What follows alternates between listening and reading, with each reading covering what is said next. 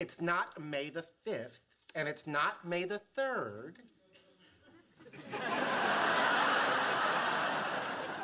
it's May the 4th. Get it? May the fourth be with you. May the fourth be with you. Get it? Oh no, this face wasn't because I didn't get it.